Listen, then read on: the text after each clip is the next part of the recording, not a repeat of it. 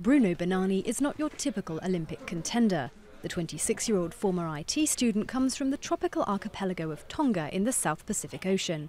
Introduced to the icy winter sport of luge in 2008 as part of a publicity stunt, he's the island nation's first Winter Olympian.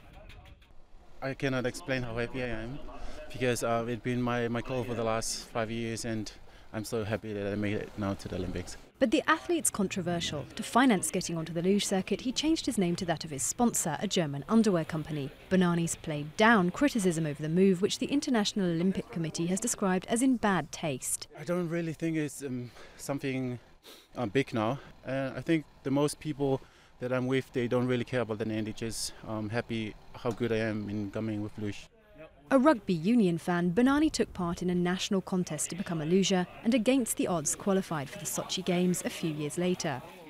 He now trains alongside the German team and he hopes for a top 30 finish in Sochi.